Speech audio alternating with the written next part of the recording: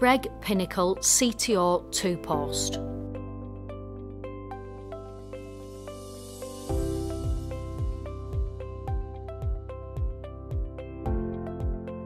Indications for use Post surgical stabilisation, cervicothoracic instabilities, fracture management, universal sizing.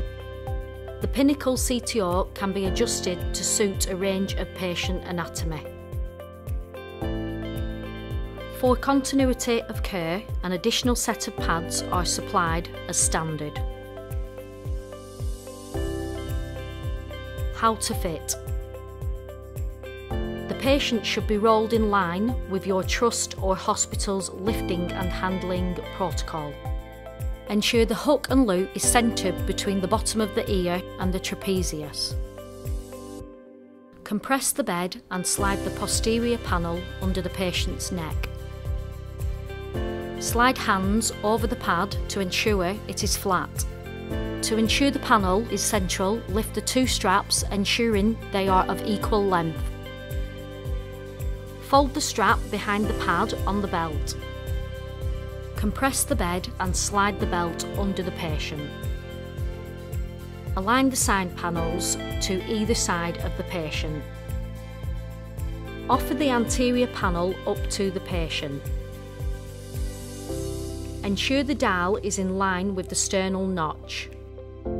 Attach the collar using the hook and loop straps. Adjust the dowel until the padding touches the skin and the patient's neck is in a neutral position. This is the point where the liner meets the chin. Lift and tuck the collar underneath the patient's ear and retighten. Repeat on the other side. Lifting the collar relieves pressure on the clavicle. The chin should be level with the liner of the collar. The anterior panel should be level with the rib cage.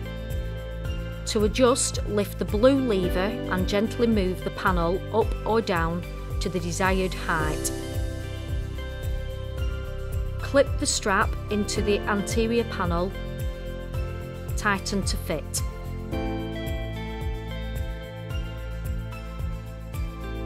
Repeat on the other side. The straps can be trimmed for a custom fit. Remove the end tab. Cut the strap to the desired length. Replace the tab and fasten. Release the closure on the posterior panel Allow the pivoting occipital support plates to find their natural place and fasten.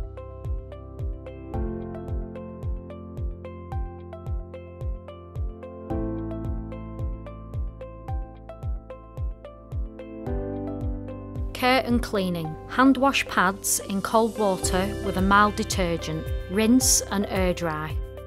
Caution. For single patient use only.